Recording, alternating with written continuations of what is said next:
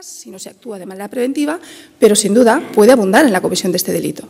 ¿De acuerdo? Entonces, mm, si tienes un código de ético, si tienes un código de buenas prácticas, no vas a tener un código de prevención del acoso. Me parece que el esfuerzo que se hace a la hora de elaborar una herramienta de esta naturaleza merece la pena que hablemos de buenas prácticas y de normas de conducta y de respeto entre las personas y, sin duda, el Código de Prevención del Acoso lo es. Código de Prevención del Acoso, mm, dejadme que meta la cuña aquí, eh, pues eh, que es interesante que lo sepamos, que es un código de obligada implantación en todas las compañías, no porque lo diga la Ley de Igualdad en el ámbito de la igualdad efectiva entre hombres y mujeres desde el año 2007, sino porque básicamente lo, lo dice la ley lo dice implícitamente la Ley de Riesgos Psicosociales desde el año 95. ¿De acuerdo? O sea, es algo que mm, esto existe. Hoy nadie puede afirmar que no estamos sometidos, las personas no estamos sometidas a eh, riesgos psicosociales y, por lo tanto, obligatoriamente debemos evaluarlas y, por lo tanto, obligatoriamente debemos tener este tipo de herramientas. Retomando esta cuestión, los canales de denuncia en compañías en las que eh, pueda reinar el miedo, en las que pueda reinar pues, la falta de confianza a la hora de poner encima de la mesa una determinada conducta de quien sea, evidentemente no funcionan. No funcionan. Por lo tanto, no nos van a exigir, y probablemente no será un elemento que se considerará por parte de la jurisdicción penal a la hora de eh, pues, eh, decir si existe o no eh, la eximente para que la persona jurídica sea responsable, pero seguro que abundará en la, concesión de esta eximente si lo que tenemos son pues, ambientes de trabajo transparentes donde fluye la capacidad de denuncia, donde fluye la capacidad de información. Em, cuando hablamos de la normativa interna, eh, como sabemos, el artículo 20 del Estatuto de los Trabajadores regula la capacidad de la compañía de establecer las normas de control, de establecer las fórmulas de organización del trabajo, sobre todo de control de la relación laboral. Eh, estamos acostumbrados, eh, y es lo primero que hemos trabajado con el equipo de, Corporate Compliance, también con Jorge, a trabajar herramientas, además de los códigos éticos y los códigos de buenas prácticas, de los códigos de prevención del acoso y los protocolos de actuación, hay herramientas que probablemente os sonarán. Alguna, de ellas es un poco más novedosa, que es el manual de uso de redes sociales, del que voy a hacer una aportación muy tímida, porque hemos tenido ocasión, de, tanto con Manuel como Irene, analizar, de analizar alguna de las, eh, las, herramientas de uso de redes sociales que nos han trasladado algunos de los clientes, y hay algunos elementos que sería interesante, interesante comentar. Pero evidentemente el manual sobre el que incidimos desde el punto de vista laboral por excelencia es el Código de Conducta Telemático. Código de Conducta Telemático, manual de sistemas informáticos, manual de herramientas técnicas, eh, que puede ser todo lo amplio que queramos en un momento determinado en función de las herramientas de que dispongamos en la compañía. Yo siempre digo lo mismo, si realizamos el esfuerzo, no tiene por qué ser un documento farragoso, y esto lo comentábamos hace un momento con, con Íñigo, los clientes y las empresas no queréis documentos farragosos, queréis documentos sistemáticos que os, diga lo que, que os digan lo que tenéis que hacer. Queréis cada vez más hojas de ruta donde estén especificados exactamente cuáles son las definiciones, cuáles son las formas de hacer y cuáles son las consecuencias.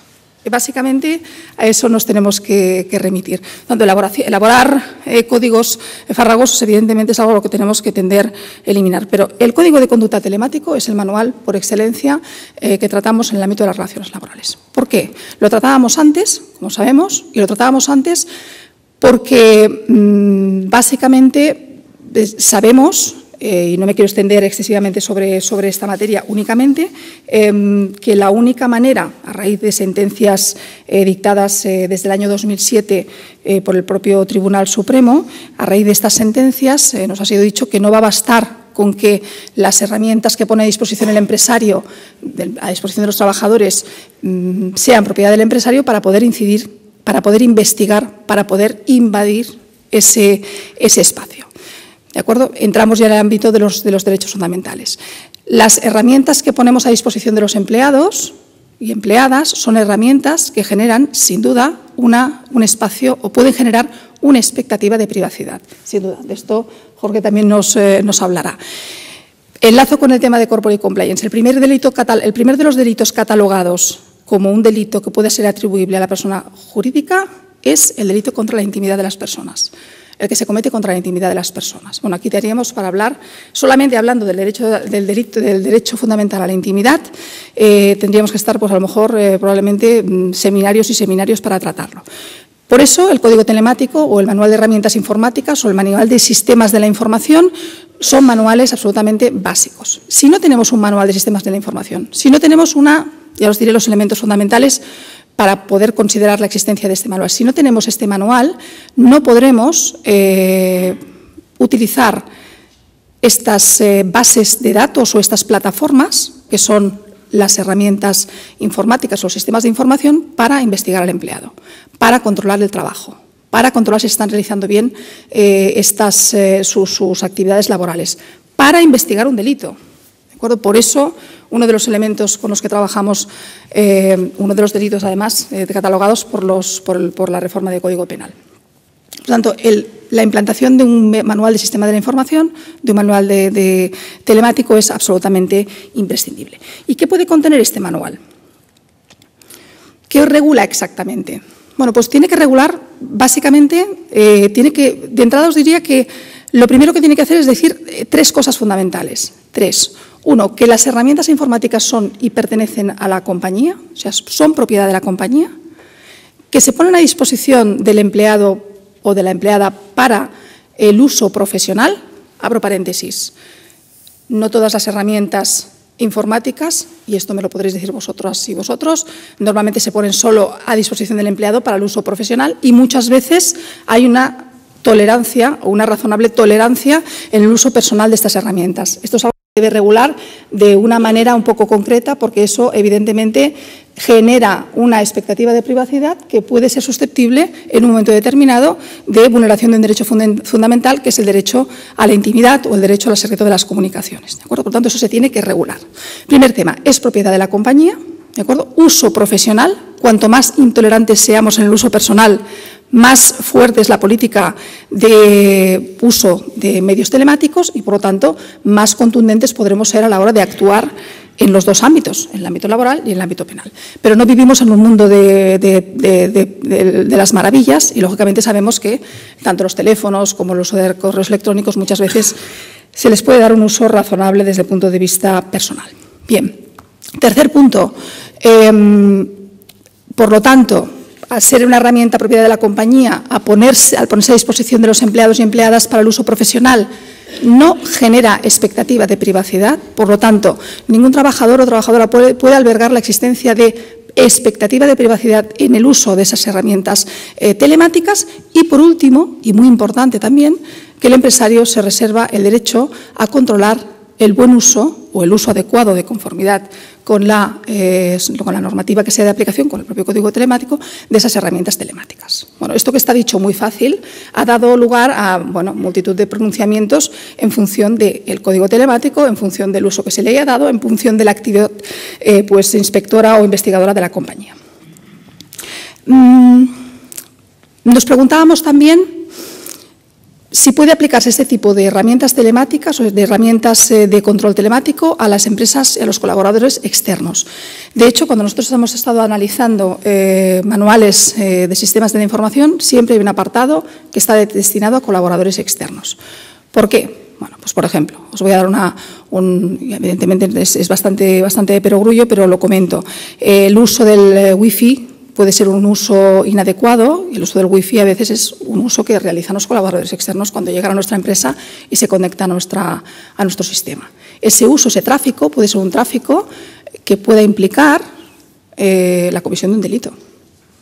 Por ejemplo, hablo del delito, estamos en el ámbito penal, pero por experiencias eh, propias y eh, por temas o algún asunto profesional, Puedes estarte conectando a páginas eh, maliciosas, y digo webs maliciosas, y evidentemente puedo, puedo referirme a unas a pues, las que típicamente consideramos, eh, no por el contenido, sino que consideramos que no son de uso profesional, que son webs pues, relacionadas pues, con páginas, eh, páginas de contenido sexual, pero además de contenido sexual que rayan ya el delito pederastia y demás. Esto se puede cometer en las instalaciones de nuestras instalaciones por un proveedor.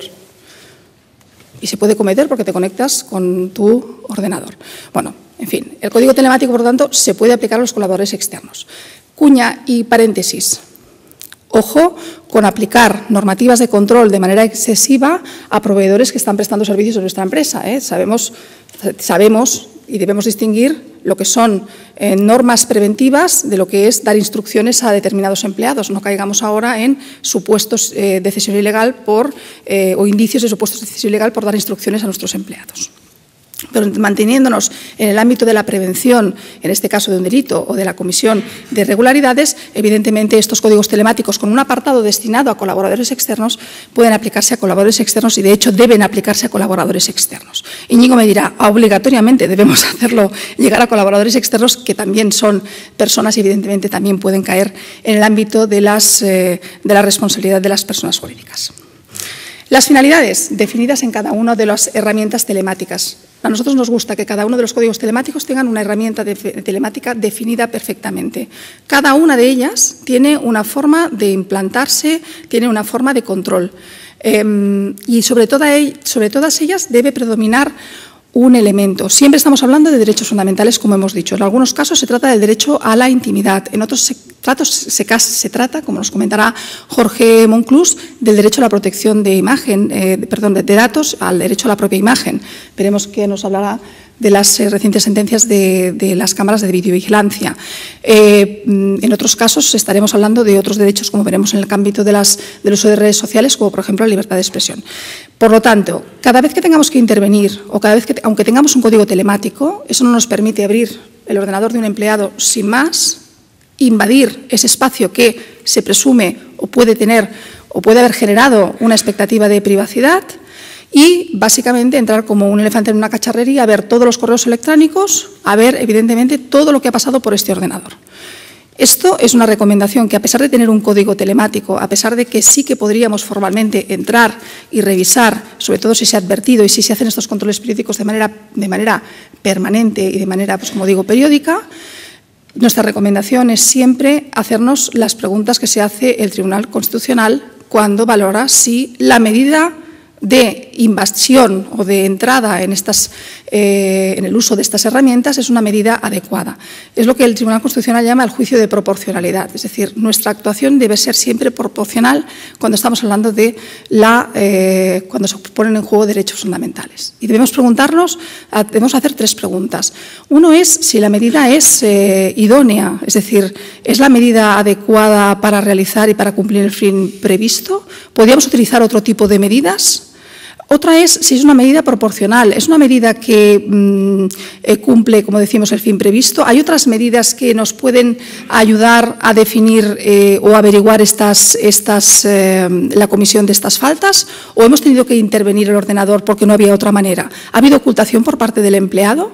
Y luego el, propio juicio de necesidad, como decíamos, y como dice el Tribunal Constitucional, es necesario que adoptemos esta, esta medida. Hemos podido llegar a conocer eh, la comisión de estas faltas a través de otras eh, formas. ¿O es que resulta que hemos ido a perseguir eh, a esta persona? La existencia de un indicio es absolutamente fundamental también para poder intervenir los sistemas informativos. ¿de acuerdo? Estos elementos van a ser siempre y van a estar siempre o deben estar siempre guiando, la actuación de la compañía cuando trata de investigar o de eh, implementar y actuar en materia de análisis de, las, de los sistemas de información. ¿Es obligatorio que las empresas dispongan de este tipo de normativa? Digamos, no, no es obligatorio. Si no tenemos un código telemático, no sería obligatorio. Desde el ámbito laboral, no sería obligatorio. ¿Es obligatorio desde el ámbito del control debido que exista este tipo de normativa? Probablemente la respuesta sería, eh, si queremos eh, que eh, la existencia de políticas de compliance actúen como control, eh, como, una eximente de la persona jurídica, probablemente diremos que sí. Desde un punto de vista laboral, ¿sería obligatorio o no? Pero si no tenemos un código telemático, lo que no vamos a poder hacer es investigar eh, a los trabajadores y trabajadoras, o no vamos a poder investigar la actuación de un trabajador en el ámbito laboral porque esa actuación va a estar de entrada catalogada como o viciada probablemente de nulidad. ¿Requiere el consentimiento de los empleados la implantación de un código de conducta telemático, de un manual de sistemas de información? Nosotros entendemos que no requiere el consentimiento de los empleados. La implantación del código de conducta telemático no requiere el consentimiento de los empleados y deriva básicamente de la obligación del empresario o del derecho del empresario de controlar el trabajo. Dicho esto, ¿y de sus representantes? Debemos tener el consentimiento de los representantes de los trabajadores para poder implantar esto, este tipo de medidas. Si se lo pregunto a Íñigo, me dirá, hombre, ¿cómo vas a hacer valer, cómo vas a hacer depender de la, voluntad del representante de los trabajadores la implantación de un código eh, ético o de un código de conducta telemático que básicamente hoy sería obligatorio para prevenir precisamente el delito o los delitos que puedan cometerse contra la intimidad de los trabajadores?